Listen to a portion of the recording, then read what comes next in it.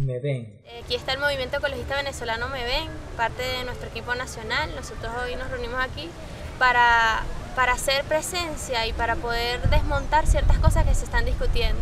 Una de las cosas más esenciales para la ecología también es la información y la información certera, veraz y la información que no te da simplemente el medio de comunicación cualquiera.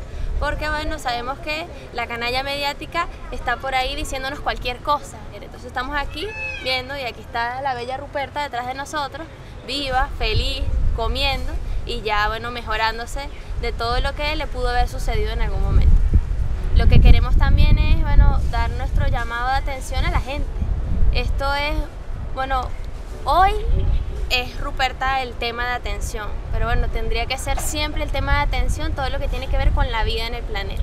Entonces, nosotros estamos en contra de que eso, eso se, se, politice, pero no, no porque la ecología no sea un tema político, sino que la ecología no es un tema politiquero para los partidos, para que se llenen la boca diciendo una u otra cosa o traten de desmentir al gobierno, al presidente. Entonces ellos no son quienes para venir a darnos clases de moral a nosotros y decirnos qué es lo que tenemos que hacer en el cuidado del planeta tienen mucho que aprender de nosotros, tienen mucho que leer y buscarse. Y el que quiera saber por qué queremos luchar por el planeta, que bueno que lea el plan de la patria.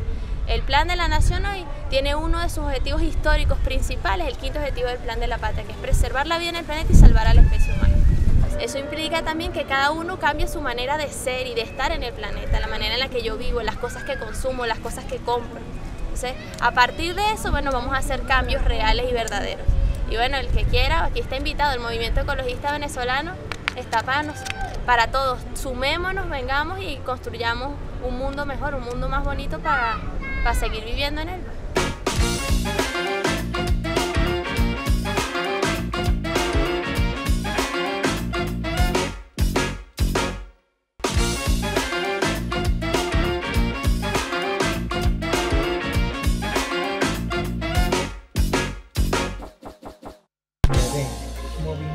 ecologista venezolano.